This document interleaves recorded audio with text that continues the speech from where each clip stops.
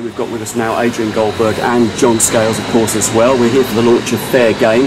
Chaps, tell us about it.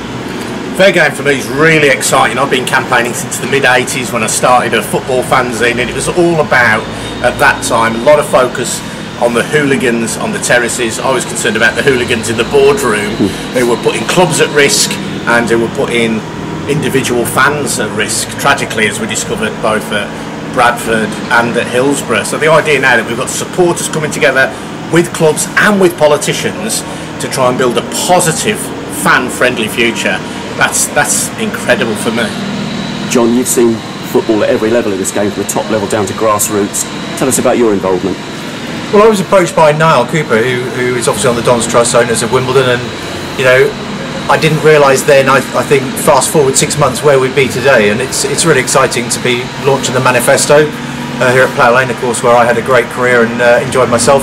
But uh, I think it is. It's uh, you know, as we've just been hearing there, it's about pulling all the various stakeholders, like-minded clubs, like-minded people like myself, people within the game and around the game who can bring and add different things. The experts, the academics we've got involved, writing and providing these solutions for the game to improve it.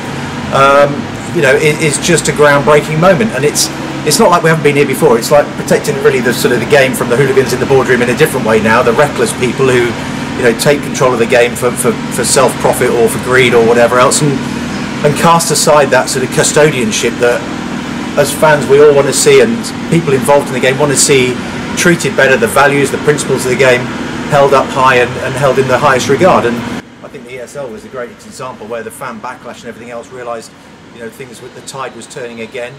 And here we are. So uh, I'm really excited to be part of this and, and be involved and lending my name to this uh, this campaign.